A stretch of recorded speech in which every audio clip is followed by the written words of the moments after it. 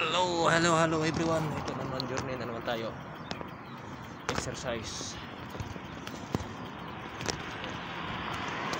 Exercise muna tayo, kabayan. Tayo ng home center ng Japan. Home center lang sa Kalam. Pasyal-pasyal, konti. Walang trabaho next month na naman. Panibagong trabaho panibagong pag-asa. Oh relax na pre. Journey journey muna tayo. Exercise.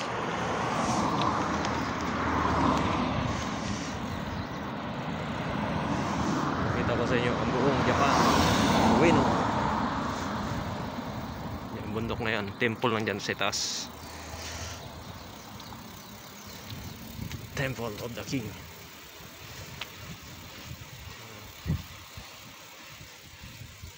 Handa, handa. Eh, Mahina ang laban. Ayan, Sakura. Wala na si Sakura. Hmm, May dahon na. Hindi na bulaklak.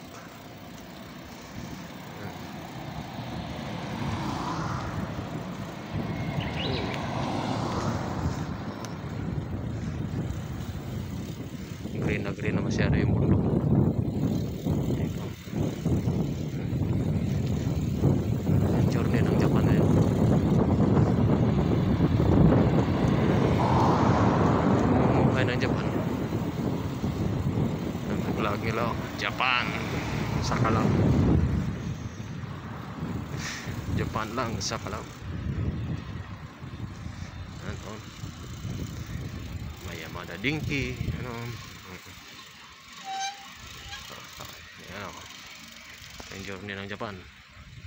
Yan tanim na sila ng palay oh. sayang hindi ko nakunan. Yan. Palay nila.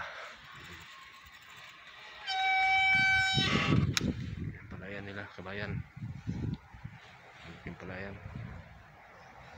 Yun ito ang pinaka maliit na syudad ng Mieken Egasi Yan. Yung apartment, bahay yan. gilid nila palayan. Okay.